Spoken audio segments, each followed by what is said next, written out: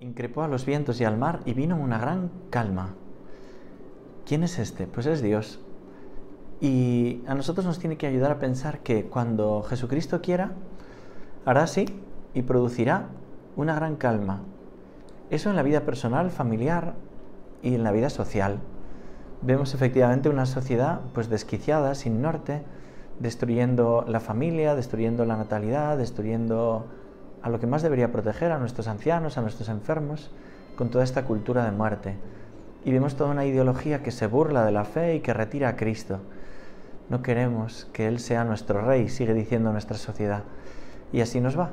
Pero no queremos ver la causa de esto, que es habernos alejado de Dios. Y entonces nosotros podemos pensar, qué mal estamos.